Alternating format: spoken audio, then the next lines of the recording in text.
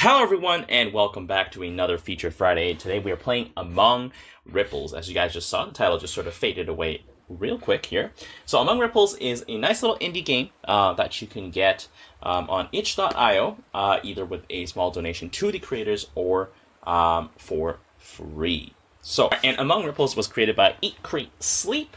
Um, and so let's just check it out. They have a little Kickstarter for a sequel, uh, which I will play soon enough. Uh, so this is the first part of our Feature Friday video. I'm actually going to be featuring two games today, and both of these games will be talking about, um, I guess, ecos ecosystem simulations. So they're nice little games, uh, and sometimes you can try and figure out how to balance your own ecosystem here. Um, and so here we just have a little pond, and so our idea is to try and maintain a stable pond ecosystem. So First things first, um, these little zones down here, so this log here, this little spawning bed here, and this little area here, will spawn different animals. So if I click over here, you can see I've spawned a lot of little fish. And if I click over here, I can spawn some shellfish down here. Here I can spawn some medium-sized fish. Here I can spawn pike, uh, which is like um, almost an apex predator. And up here I can spawn an otter, which is the apex predator of, well, this little pond here. Uh, and so I think one of the challenges of this little game is to try and figure out how to balance your ecosystem so that it is uh, perfectly self-maintaining. Uh, so that's probably one of the challenges. And I think this is a great, this is a great game to play for fun. I think it's also use, very useful, like uh, teaching tool for school because I'm just thinking about like how I could use it if I was a, for example, if I was a teacher, um, having to teach the subject. Um, this, I think this would be a really interesting game for my students to play. And so that being said, let's just get a little bit of this gameplay in here, and I'm going to see how I can balance this out. So as you can see here, the lobsters are bottom feeders, and they're cleaning the stuff up. Uh, and since they're going uncontested, they are quite big. Uh, and so they will also clear up all these dead cor corpses um, in time. I think the mollusks, I don't actually remember what the mollusks do besides, I think, help filter the water. Uh, and here we go. Let's just put down some more of these. So if you guys like what you see here so far, you can definitely head on over to itch.io. Probably pop a link in the description down below to get it. Um, and as always, Feature Fridays, I feature a lot of different games. Sometimes they're indie games, sometimes they're games that are free on the Epic Game Store that uh, are not too well known. Uh, for example, last week I did Death Coming, which was a nice little indie game as well. Uh, so you can go check that out. I'll pop a little playlist to the entire Feature Friday section uh, if you guys want to see it. So, there's a little layer of something filling up here. And I don't suppose that's good. I think the mollusks here might be dying down. Oh, no, okay, so I think all I needed was some mollusks. So I think the mollusks help maintain the cleanliness of our of our sort of um, the floor of our pond. Now, however, as you guys can see here, I have put in too many of these middle-sized fish, and the middle-sized fish have completely eaten have eaten completely all the small fish.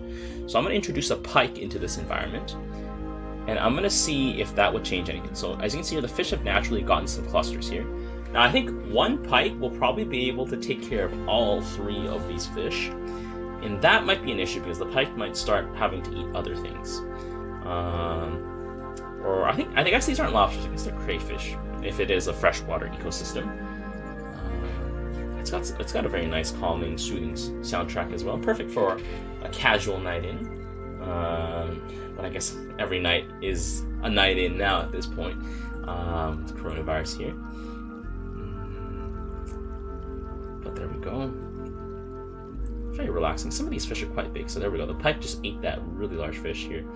I think the crayfish are actually also eating the mollusks as well um, because they are bottom feeders, so they're just gonna go for everything. So I think, I think I have too many crayfish down here. Maybe if I have one crayfish, because uh, the crayfish will help clean up the carcasses up top. Um, let's see. I'm just not gonna touch this ecosystem, and I'll see where it goes. I have a feeling that the pike is gonna eat everything. Um, there we go. But I think if the pike eats all of the medium-sized fish, there'll be no more medium-sized fish, and then eventually I don't know if it'll go for the small fish, but it might they might just starve. That'll be very interesting to see. So we have a lot of mollusks here now.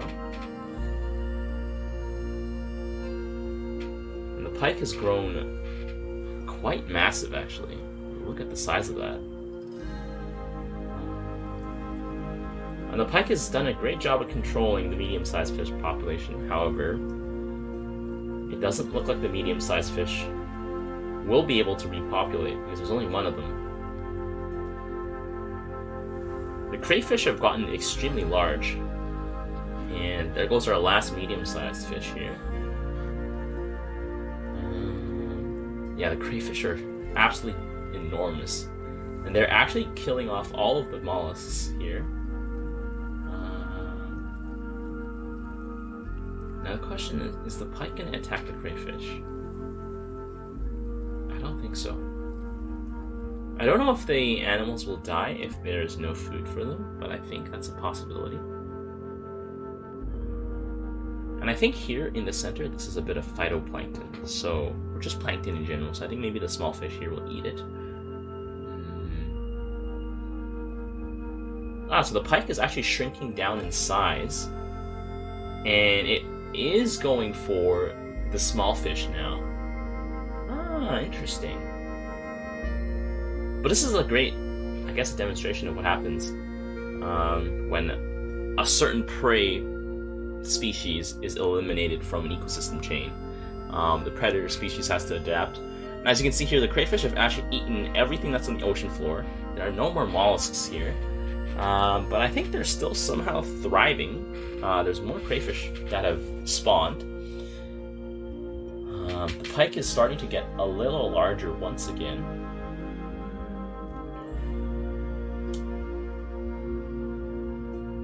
Ah, the small crayfish, the big crayfish actually ate the smaller crayfish. And so they're preying upon each other now.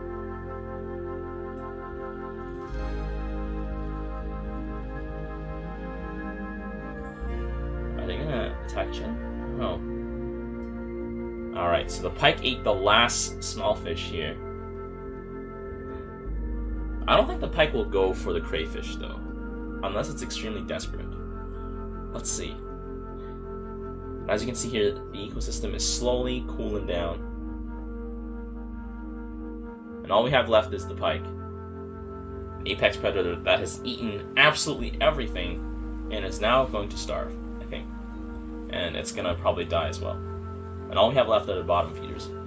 Um, as you can see, the bottom feeders are quite resilient though. Uh, even in our freshwater ecosystems, I believe, at least the ones that are closer in, closer to the cities in Ontario, we still have the chances of finding crayfish, but definitely fish are not likely to exist. Um, I mean, factor in all the pollution and everything else that happens.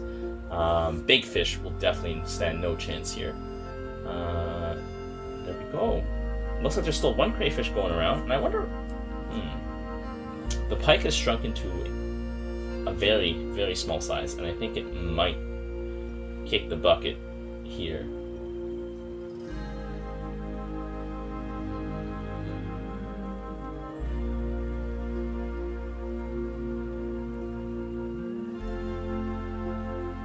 Unless it can't die of starvation. That'll be interesting.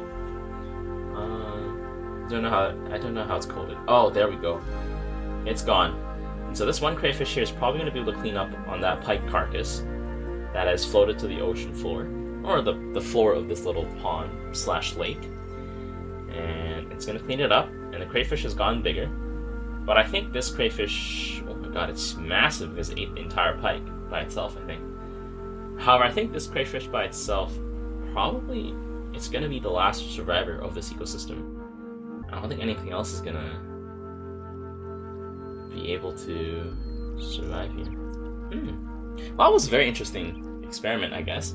Um, maybe we can try and see if we can wipe this ecosystem clean again. I don't want to spawn anything else in, um, but I want to see what the perfect formula is. Because I know I can introduce an otter, and the otter will eat just about anything in the ecosystem, but it prefers um, the shellfish that are on the ocean floor or the floor of the pond. So maybe I need to establish a strong shellfish population first and a strong population of small fish, and then considering introducing other other creatures. So as you can see here, the water is slowly starting to get a little foul here, and that's because we don't have our natural filtration systems, uh, which are the shellfish.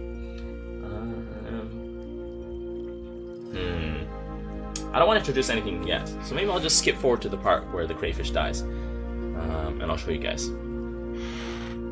Oh! I guess we don't need to skip. It just died right now. So, now then, we have a little pollution here. So let's try and reset this by introducing some mollusks into this ecosystem, and they should be able to purify it soon enough. Look at that. There we go. So we're just going to keep the mollusk here and allow them to reproduce first. They're sort of like the the vanguard, I guess, of um, establishing an ecosystem. It seems. Um, however, the plankton population here has shrunk a little bit. I think these. I think this is plankton, to be honest. Uh, but it is expanding out again. Uh, I don't know if the mollusks are going to start replicating themselves, but shellfish are. It's kind of like moss. Um, when you're trying to turn stone into dirt, moss is usually the first thing that gets onto the dirt, and then afterwards, uh, it slowly breaks it apart into smaller. I mean, breaks gets onto the stone and breaks the stone apart into smaller pieces of stone, which then crumble into gravel, and then from gravel gets reduced to dirt, and so on until it becomes like habitable uh, for plants. But it looks like the mollusks here are they're just going to be growing older. It doesn't look like they're going to be reproducing. Um, okay, so this seems quite stable now. So what if we introduce some fish? What if we introduce some fish? Because the fish will produce some more waste, and the mollusk will not be eating the plankton, but instead uh, will be eating the fish waste. However, they're all they're both feeding off of the plankton here, and the plankton is actually diminishing significantly. Um, as you can see, the yellow here has gotten so small that it's barely there now. Uh, and there we go. We have a layer of detritus rising up.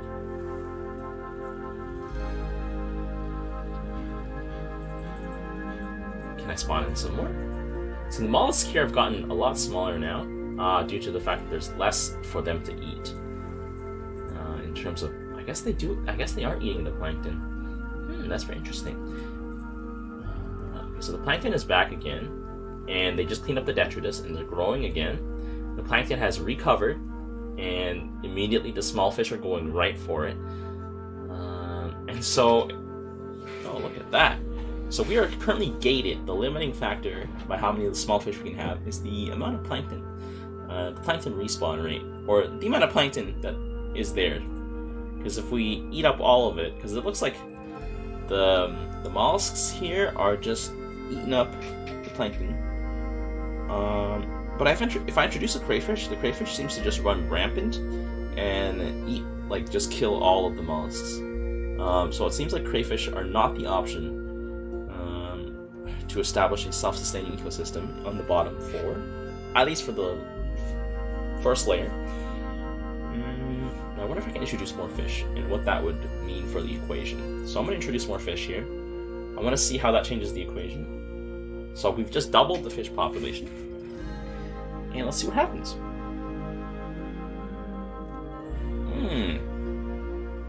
Okay, so plankton is running a little low. I don't think the plankton can ever disappear. Um, I don't know how accurate that is to real life, to be honest. But um, or is it algae? It might just be algae here. Uh, I don't quite remember what they called it in this game. So I played the, I played the tutorial a while back. And, um, I, I low key forgot uh, what exactly the things are called, but don't worry about it. Um, I'll probably like put a more detailed description in the description box of this video. Now let's see. So it seems like we've established a little bit of like a of an ebb and flow. Uh, it's just a nice little back and forth that's going on here. So some of the small fish are, are dying, so doubling the population wasn't good. But I think we've established a stable population. Oh, look at that! The mollusks are about to reproduce. These things are a little sort of, I guess they're eggs, um, and they're gonna reproduce. the mollusk, if the mollusk population doubles, that might be a good time to introduce a crayfish, or two, or maybe just one crayfish because um, the mollusk is the source of food for the crayfish. And I guess this, this is a stable um, number of small fish that we have. And we might have too many mollusks because they are struggling to survive. Because, mm, yeah, look, they're shrinking again. Yeah, because they're running out of food. Only some of them are getting enough food. Uh, but as soon as the detritus level rises again, uh, they recover once more so as you guys can see here, like planning out ecosystem is quite tough, um, and we should be preserving Earth's ecosystems Uh, because honestly, this is a very simplified version of what an ecosystem could be. So we have a lot of mollusks here. So let's introduce a crayfish, right? Um, there's a this is like a very simplified version. There's just like three or four sort of key pieces here, but like in a real ecosystem, there's at least a few hundred, right? Uh, so some of the mollusks here didn't make it past. Um, yeah, they're just they're starving now. They're dying off, uh, and so this crayfish is probably just going to hasten their death because, um, well, there we go. I think the crayfish just rampantly devours the mollusks. Um, yeah, they're just going for it. Oh no, those those ones just starved to death. So there's still five mollusks here. Um, so five was clearly a little too much to start off with. But the small fish are able to survive um, off of the plankton uh, and endlessly, I guess. And look, there's a there's a clutch of eggs right there. The mollusks here are growing a little bigger. I assume the crayfish is going to eliminate some of them, but I wonder if the crayfish is going to eliminate all of them. Um, because I don't know what the what actually preys on the crayfish. I think it might be this medium-sized fish, unless there's another animal that I can introduce into this environment that I completely forgot about. Um, because hmm. I know the otter. The otter is the supreme apex predator, and it will it will devour any fish, including the pike, uh, in this ecosystem. So, let's see. I think one crayfish right now seems to be good, but it's eliminating. If it eliminates too many of the mollusks, that's gonna be bad. And that's see, this is this is an interesting thing, right? Um, this is what happens when when you introduce an invasive species into your environment, right? Because currently, I don't. There's no predator for this crayfish, and so it's just running rampant, and it's gonna literally tear this ecosystem apart. Um, you guys watch here, and it's just going to kill off these mollusks here. Like, it's already killed off most of the mollusks. Uh, I think the mollusks will be able to survive and continue purifying the system. But, the water is going to get absolutely filthy without purification. Um, and I think the, and I think the crayfish can just endlessly survive. Yeah, there's a lot of small fish that are dying off right now. Uh, okay, but there's still some of them surviving. So the small fish population is still decently stable enough, but as you can see here, the detritus is building up. Um, and let's see. Oh my god, a lot of small fish hatch from that cluster. No wonder. Okay. And so they all run out of food, and then they're like, and then they die. Maybe that's what's happening. Uh, I wonder if the crayfish will just. I know the crayfish will starve, but I think it'll be able to pick up on the corpses of the fish and it'll be able to survive like that. Let's see if it does that. Uh... Oh, the answer looks like no, unless it's going back to spawn more crayfish, because that's its sort of spawn point. No, I think it is going to clean up some of the corpses here. I think it's just an interesting to watch, so maybe, maybe, maybe we won't, we won't do two games. I know I said I we were going to do two games, but we're actually just going to do this one game, I guess. Because um, this actually has so much more potential um, to it than I expected it to at first glance. I'm really enjoying it so far. How I can establish a safe population of mollusks. Because the mollusks are running rampant, so maybe I just gotta let them sort of run rampant and then die off because of the lack of resources, and then it'll establish like a stable number. I mean, this is like sort of what happens with natural selection, right? Um, and not introduce a crayfish, which currently has no competitors, uh, or no, no, not competitors, but no predators in its environment. Let's see. Okay, so the crayfish I think has died. I don't see it anymore. And the small fish are still thriving, so I think the small fish can thrive endlessly here. Uh, and that makes for a great base of our ecosystem. Uh, let's just introduce some more small fish here. I'm gonna introduce more. Uh, I'm gonna spawn some more, and we're gonna see how this goes. As you can see here, the layer of detritus is starting to rise, is starting to build up uh, without the help of the moss. So maybe instead of having so many molls, maybe all I need is just like two or three. Um, they will naturally reproduce, um, but they won't sort of consume all of the detritus at such a rapid pace. Uh, let's see. Because as the polluted water rises up, um, it is eventually going to kill off all of these fish. Uh, let's see. So they're just coming in here to eat the plankton, or the algae, something, some sort of microorganism that they're eating. Uh, yeah, this looks like a very stable population of small fish. Uh, but the only only worrying issue is that there is a buildup of detritus. No, no other way to say it.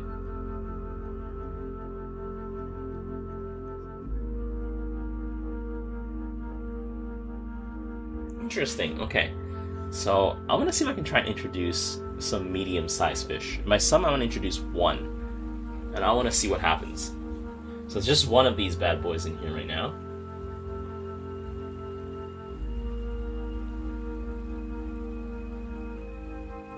And it looks like it's gonna go for one of those small fish.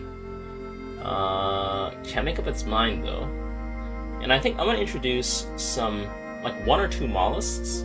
I'm gonna, I'm gonna introduce one mollusk here. Uh, but this medium-sized fish is going uncontested right now. And it's probably gonna cull a lot of the small fish population, I think. Um, so the one mollusk here has actually done amazing things for cleaning up the bottom of the pond floor. Which is actually pretty, which is pretty good. So I didn't need to spawn in five. Only one was good enough. Uh, and it's constantly growing. Every time it has that little blue animation, I think it's growing. Uh, so this medium-sized fish here has eaten some small fish, but I think the small fish population is large enough and stable enough that it can sustain some predation. Uh, the only issue is if I introduce more of them, I might not have enough small fish. Uh, let's see. I think that's about as big as the medium fish, medium-sized fish gets. So the mollusk has shrunk again, and it's growing up again. So we actually don't need too many mollusks at all. It's just a handful, and that's all we need. Let's see. And I think there is a there's a lot of small fish, and I think ah look, the plankton seem to be spawning a lot in a lot larger number now that the water has also cleaned up a lot. Um, which is good news because that'll allow our fish population to sustain itself um, much, much better.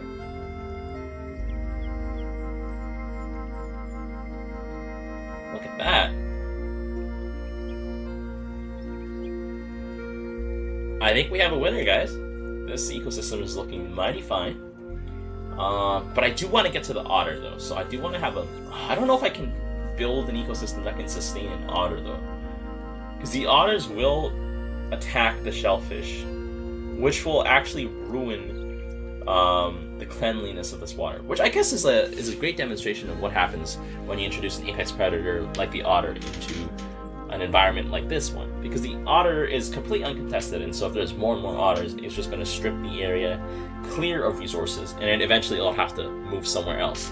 Because uh, shellfish don't reproduce too fast, and they are still reliant on food resources there. And the otters will not just eat the shellfish, they'll start eating everything else inside the waters. Uh, they'll eat the small fish, the medium fish, they'll even eat the pike. Um, I don't know if they eat the crayfish though, but all I know is that they're gonna just completely destroy this ecosystem.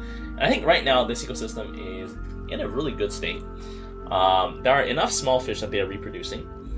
Uh, and I think I, should, I could probably introduce. Oh no, because if I introduce another medium-sized fish, I think that will cause the medium-sized fish to start reproducing, and once the medium-sized fish start reproducing, the small fish population is going to get completely obliterated. Um, that's going to be bad news, because once the small fish population gets obliterated, well, the big fish dies, and we, we might still have the otters remaining. Oh, some of the small fish are actually dying of old age right now. That is very interesting. And that one shellfish that we have is doing great. I think this is this is like the perfect balance here. Uh, provided the shellfish doesn't die of old age. That being said, though, right? Like if we need if we want an actual sustainable ecosystem, we will need to have at least um, a re, like a mating pair inside this ecosystem. And a lot of the small fish are dying. Um, I think it's probably they're dying because of. Hmm, that's interesting. they're probably dying of starvation because they re- they've reproduced way too fast, which tells me that we could probably have room for another medium-sized fish right now. And we actually lost both of our mollusks here. Uh, has the has the bottom of the pond gotten too toxic? With all the dead bodies that are accumulating. I don't think I like the. As you can see, like the the plankton itself is also not reproducing properly anymore because of the detritus, and all the small fish are actually starving. Uh, and actually, I think I think it's detritus that's killing everything. Um, so let's introduce a crayfish here. I want I don't know if the crayfish can help us clean up here. Um, maybe it can. Maybe it's I, I probably need the crayfish to help clean up the dead bodies here. Um, okay, so there we go. The plankton has reproduced. Uh, and the crayfish here, yeah, it's cleaned up the dead bodies all right. It's going through it. So it's going, there we go. I just ate that one. And because the crayfish are scavengers, so they will clean up all of this stuff. The only issue is that they also eat the mollusks, and the mollusks help keep it clean, or the shellfish. Um, this is very interesting because what I thought was keeping the water clean, I think it might just be too dirty for the mollusks now. Like there's just too much detritus. Um, and even if I if I put in some mollusk, I think they'll still die because the water's just way too dirty. Yeah, they're just gonna die. Like they're not able to filter out filter it out. So I think this ecosystem has actually started is actually doomed. Um, it's on a death spiral. Yeah, it's on a death spiral. The mollusks have died off, and so there was too many small fish here, not enough um, balance in terms in terms of like the decomposers um, that help break down dead organic material because now it's just sort of stacking up dead or waste products. Um, and soon enough, the small fish won't be able to re- reach the plankton, I think, without going into the unclean water. Um, and they can't even spawn unless they go into the unclean water. Huh. Well, this is certainly a very interesting game. If you guys want to see me play more of it, uh, be sure to let me know in the description down below. I'm actually kind of curious as to how I can build a nice self-sustaining ecosystem. The medium-sized fish here is actually a little purple, so that tells me it might be like old. It's getting old, like old, or it might sick. Uh, but anyways, this this has been Among Ripples. Uh, if you like what you see here, you can go and grab it at itch.io, uh, and it's a great game just to, I guess, just to appreciate the complexity of nature um, because this is such a simple game in terms of like compared to like what reality is like um, that it just makes us I don't know it it, sh- it should be a humbling experience I think um, because I'm certainly in awe at how difficult it is to balance an ecosystem um, and how this sort of death spiral once triggered doesn't seem to be able to be reversible by any other means besides well not natural means at least. Like all these things are gonna die and everything's gonna be extinct, and then you just have to wait a bit of time. And usually, a bit of time in nature is like a couple million years or something. I don't know uh, before all this stuff cleans itself up. But yeah, uh, this has been Among Ripples Feature Fridays. Um, leave a like if you enjoyed this video. But until next time, I will see you guys later.